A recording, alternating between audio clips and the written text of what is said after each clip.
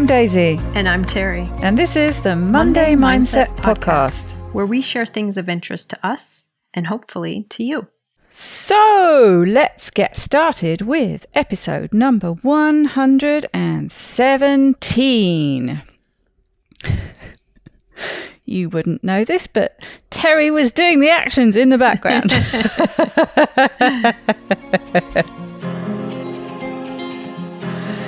and Terri, you are the one who is in the hot seat today. So, what do you have for us?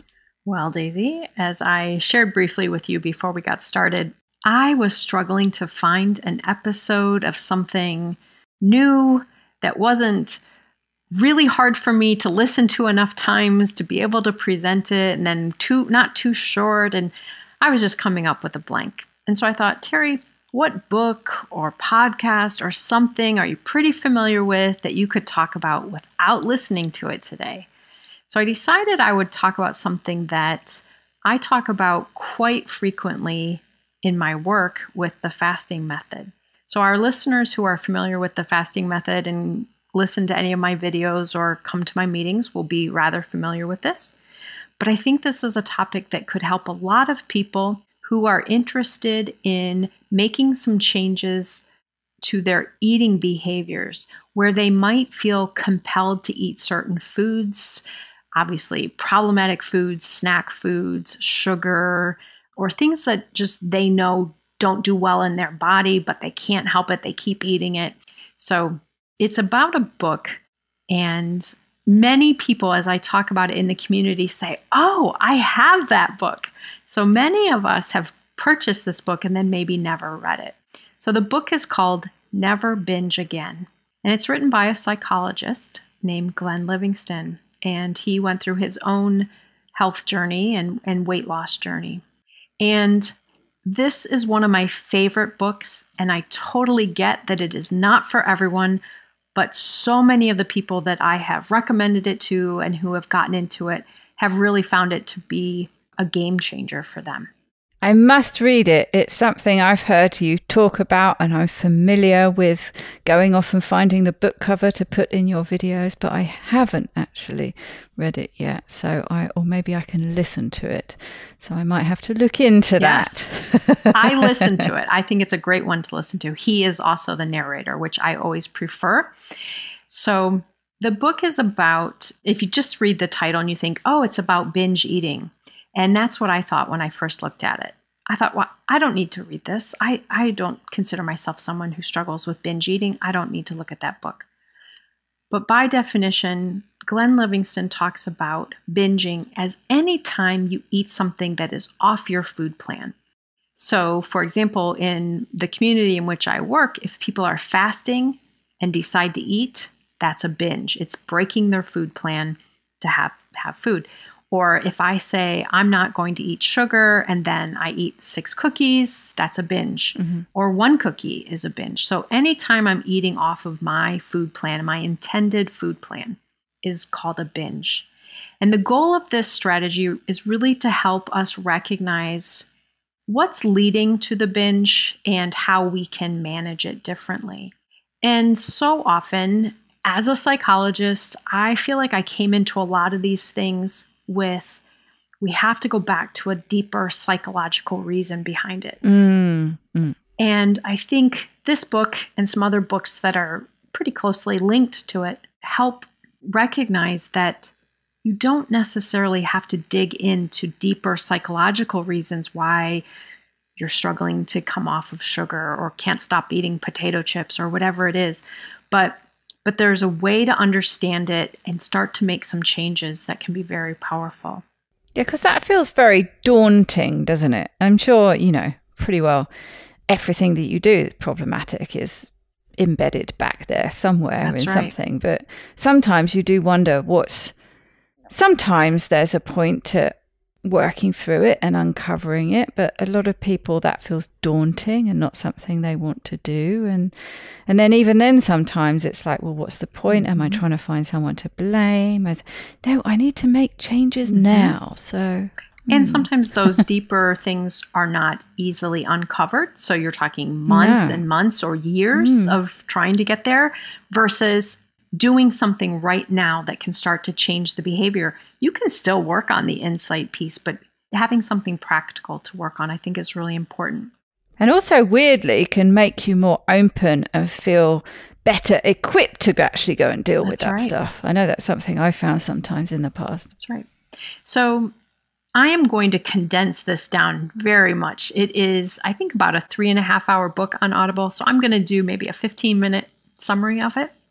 But basically, the whole premise of the book is that what really drives us to engage in these foods off our food plan is part of our brain that some people might refer to as primitive brain or lizard brain. It's that lower brain, and you and I have talked about this in other episodes, but it's that lower part of the brain that is our much more ancestral part of our brain, contains the amygdala, and it is that part of the brain that is not very sophisticated. It is what controls the fight or flight or freeze responses.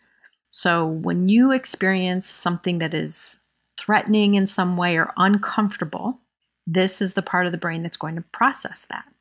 Now, this part of the brain wants to feel better, it wants you to feel better. And you can imagine most of us listening to this have learned the easiest way to feel better is to eat. Mm.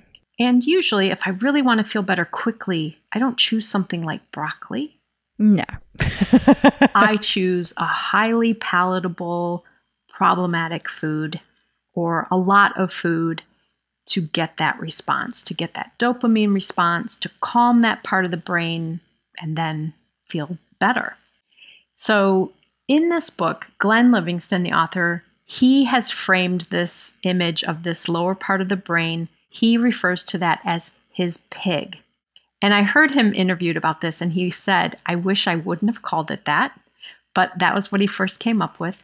Yeah, because I know you've you've talked about it when you've talked in videos about different books that sort of talk around the yeah. same subject and use different concepts to explain it. And you said, you know, that some people don't like this image, yeah. but that's the one that he uses. Some people actually stop reading the book because they're so offended mm. by the reference to mm. pig. If you know, if I've struggled with my weight all of my life, I've been called mm. a pig. I've called myself a pig. It's mm. such a a shame based term for so many people that his use of it is problematic. But I encourage people if that does, you know, kind of switch it yeah, out. switch it to something mm. that doesn't mm. feel that same way for you. But to take the concept is really important.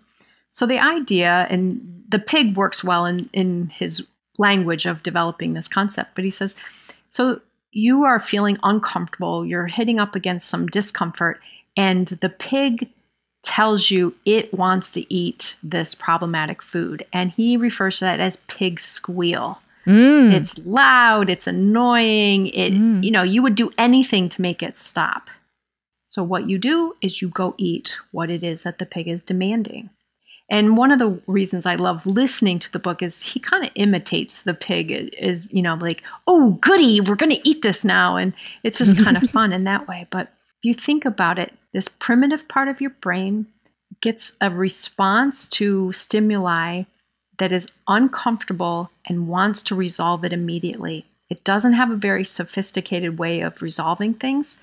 And so, one of its go to things is food and problematic food. The other thing that's interesting about this part of the brain is that part of our brain does not control our voluntary motor skills. So, if I'm talking about that part of my brain wanting relief by me going and getting cookies, it cannot make me walk to the kitchen to get cookies. Or I live a block from Whole Foods. It cannot make me walk to Whole Foods. This is why the pig squeal is so important because it gets loud and it it tells me things, it tells me deceitful lies to get me to go get the cookies. I have to, in my other part of the brain, have to decide to do what this part is telling me. So, one of the most important concepts of this book is the idea that that primitive part of the brain has these urges, and we have this whole other section of our brain, the prefrontal cortex, that can decide what to do with that. And this part of our brain is rational, problem solving, and even future thinking. Whereas that inner primitive brain, the pig, is not. Mm. It does not care. Feed me now. That's right. That's right. It doesn't care that eating this is going to spike your glucose for the next three days. Mm. All it cares about is it's going to feel good right now. It's going to relieve what I'm feeling right now. It doesn't care that you have um, uh, gastrointestinal problems when you eat this food. Unfortunately, it will still encourage you to eat it, and then it will encourage you to do something then when you mm. experience the consequence. So it's a it's a vicious cycle in that way. So the idea is that when you hear this pig squeal, you learn to ignore it. You cage the pig. You do not let the pig make decisions for you. It is this other thing trying to make decisions for you. And it's demanding, it's deceitful.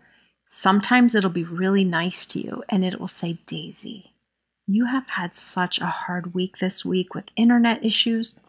Go ahead. You can have some of this. It's all right. So it's very conniving, mischievous, deceitful messaging that it will give us. But most of us don't recognize it's a separate part of our brain that we can learn to cage and not listen to it and not give in to its demands.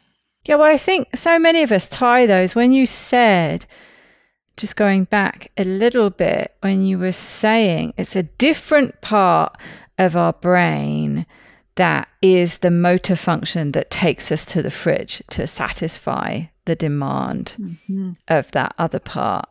And I think a lot of us think that they're completely meshed That's together. Right.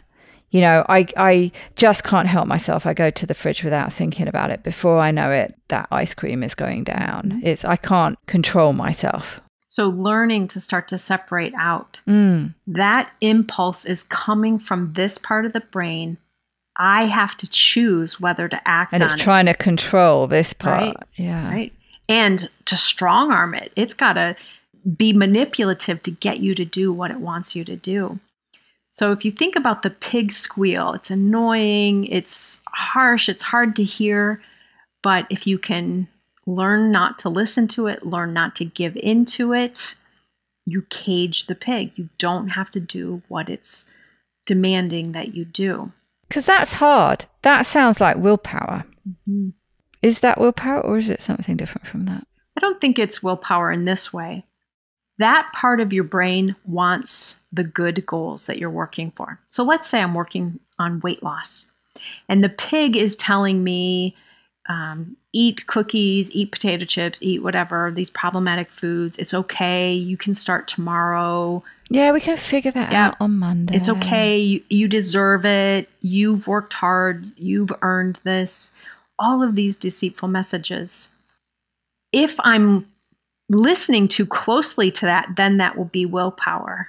Mm. But the other part of my brain has a very clear sense of what my goal is. Right, it right, has right. values around this health marker or this weight number or whatever the thing I'm working on is important to it. And like I said, it can think about the future. It knows if I eat this right now, that's going to set me back for days.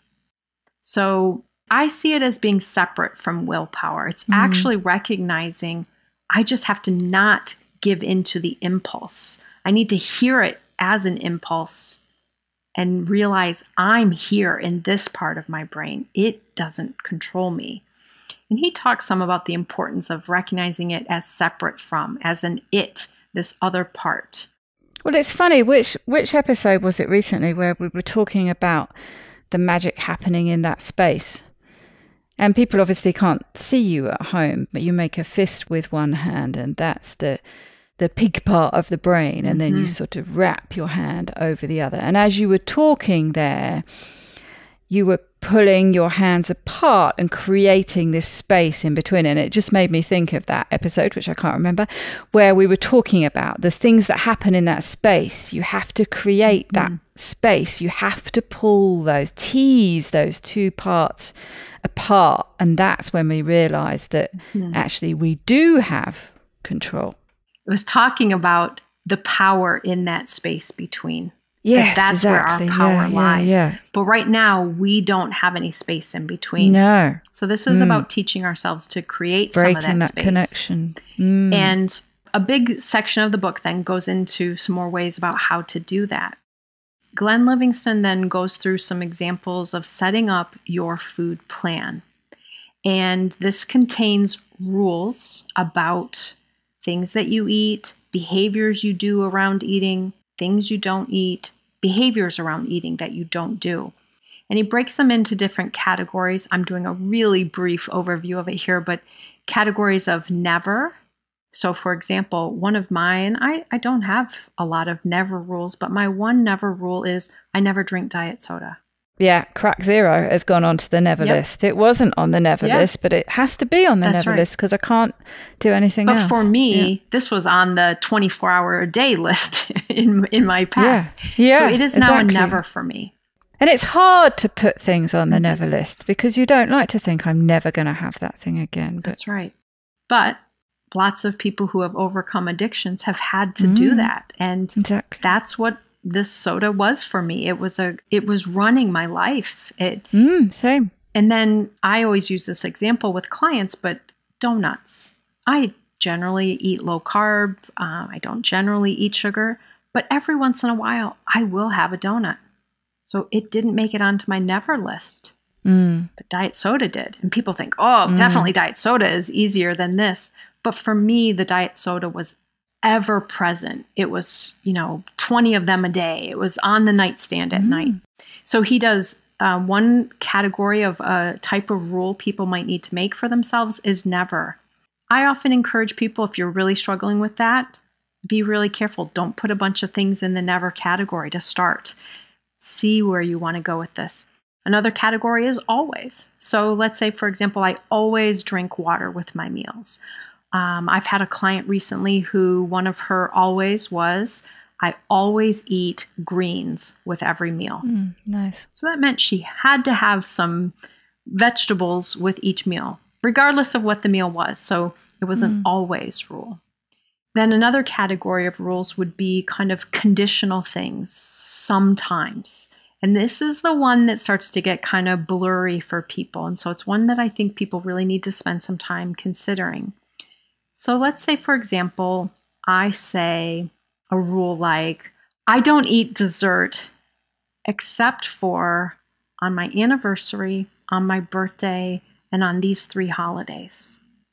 Meaning, I am going to have dessert sometimes, Mhm. but it's very clear when. Because if I leave it up to in the moment making that decision, that primitive brain is always going to tell me, oh, it's okay now. This one's okay. This time's all right to do it.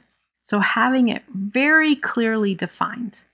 And in his book, I'll, I'll tell you a little bit more about the book in a moment, but he goes through some examples with clients. And I remember this one interview with a woman, and she said, Well, I, um, I don't want to eat baked goods anymore. I think that's what's really causing me the problem. But I don't want to give up baked goods completely because my husband and I like to go to this special place on Sunday and I like to get a baked good.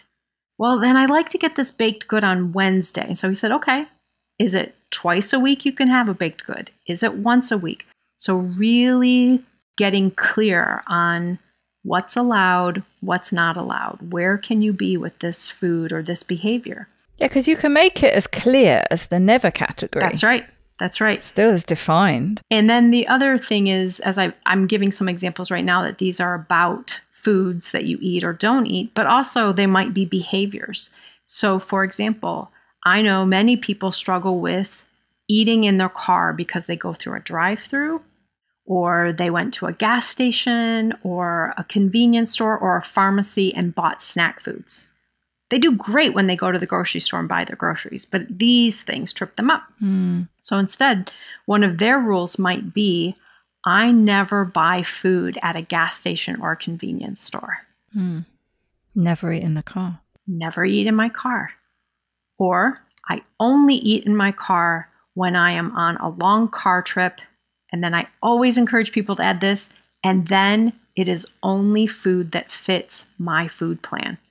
Because you know, many of us, I'm sure you and I both have done this, Daisy, we discount any of those rules because of the environment. Well, I can't mm. help it. I mean, I'm in the car yeah.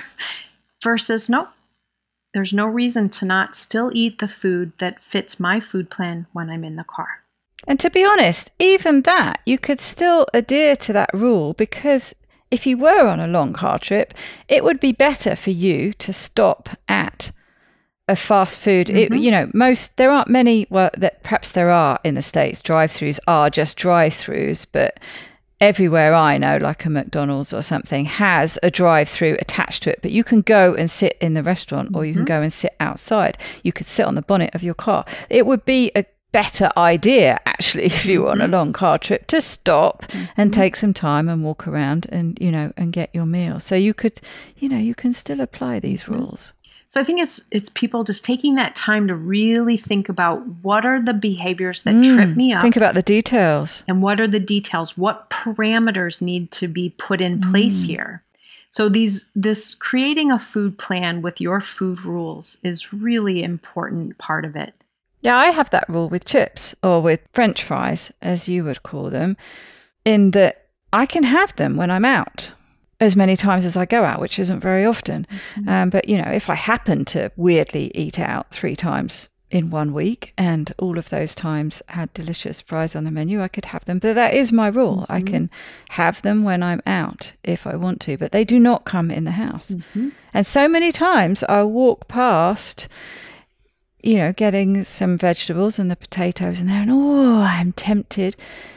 No, mm-hmm. that's the rule. You can, they're not in the never. Yep.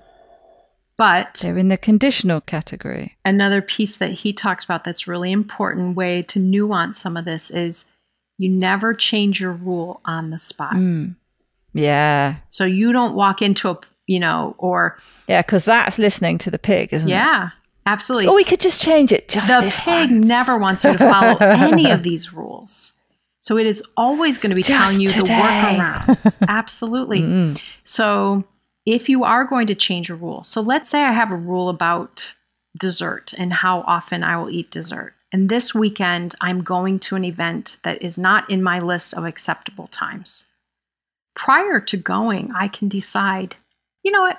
while I'm at this event, I am going to have a dessert. I'm going to have one, I'm not going to have two, but I am going to have a dessert if I decide I want one.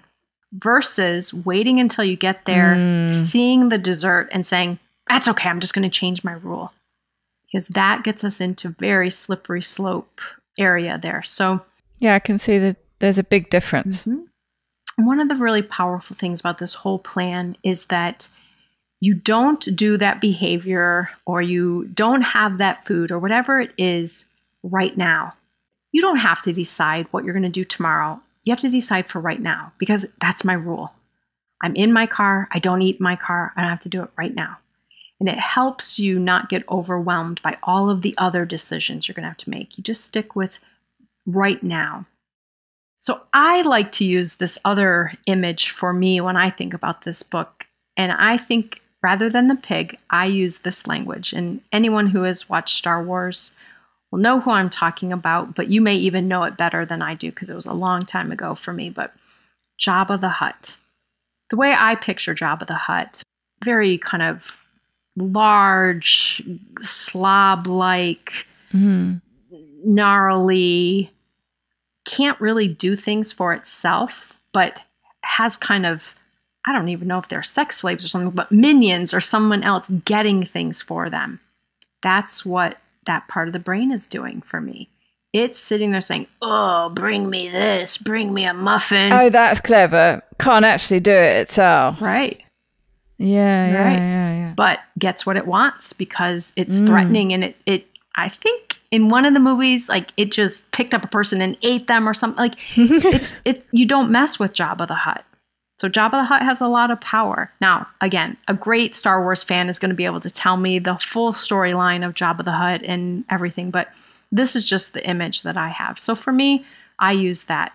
This part of my brain is gluttonous and wants what it wants right now to feel better, and it will do anything to get me to do it. And I have to learn not to give in to the power of Jabba.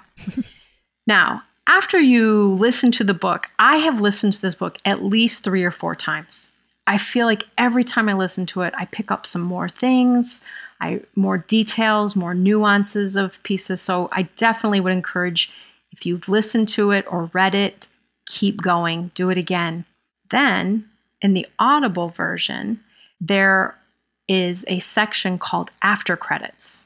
And oftentimes these are the parts of Audible books that I never even pull open. You know, it's handouts or it's things like that. But in this, the after credits, seven and a half hours of after credits. No way. Are segments of interviews, transcripts of Glenn Livingston talking with a client oh, cool. in applying this after they've already learned the never binge again right. concepts now they're putting them into place and reviewing them. So you get to hear what it sounds like in action with real examples. Hmm. So when I go for a walk, I'll put on my headphones and I'll listen to a couple episodes of that. Mm. So it just makes it so fresh in my mind, makes it real for me, and helps me apply it. You know, well, how does that fit for me? How what rules do I need? Now, in the book, they do go through some of the rule building skills and things. There is also a workbook. So, if people are serious about using this concept, there are tools that can help you to create your food plan, um, help you work on recognizing that voice versus your, you know, rational, down to earth voice and learn to use it.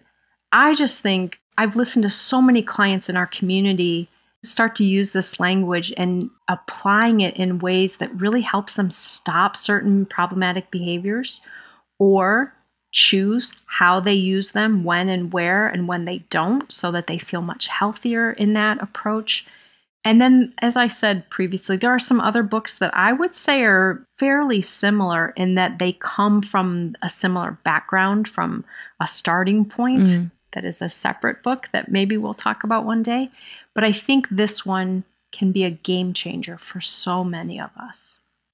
Well, I think it's about time that I listen to it. So I think I have a credit lurking on Audible. So I am going to nice. spend it on this. And that's that's very interesting about the extra. It sounds like twice the length of the book uh, mm-hmm. after credits. But I think that's so often where people find the greatest value is hearing mm-hmm. other people like them stories. Mm-hmm. You know, because it's all these theories sound really interesting, but how do I apply them in my mm-hmm. life? And when you hear other people who, because some of them are bound to be similar to you or to be similar mm-hmm. enough to make sense to you, it just makes it it just starts cementing it and making it all make sense to you and mm. and for you to suddenly see how you can apply it to your own life. So that that sounds great. I'm going to go order it. There's also a podcast with similar kind of transcripts that you can listen to. Uh-huh. Oh yeah, Daisy, I was thinking of an example in one of the episodes that I just had a client recently address this in her own experience with the book and thinking of this way. Many of us might say, I can't never have this again. I couldn't do that. That's mm. too hard. That's something I can't commit to, that I'm unable to do that. And she stopped and she said, Wait a minute. There are a lot of things in my life that I made a commitment to never do. Now, she happens to be someone who quit smoking. So that's a hard, mm. you know, mm. black and white line. Yeah, she never that. smokes a cigarette. Mm. So she realized, wait a minute, I can do this. And she said, You know, she's raised kids. And she said, I chose to never hit my kids. That was a conscious, I never do this behavior mm. that I lived with and honored. Why can't I do that with some of these food behaviors? Mm. So, recognizing we do these things in other areas of our lives and then applying it to this. Mm. Well, Daisy, I'm really excited to hear that you want to listen to this book. I think you'll enjoy it. And I look forward to chatting with you about it again sometime after you've gone through it. And I invite all of our listeners to check it out if you've not already done so.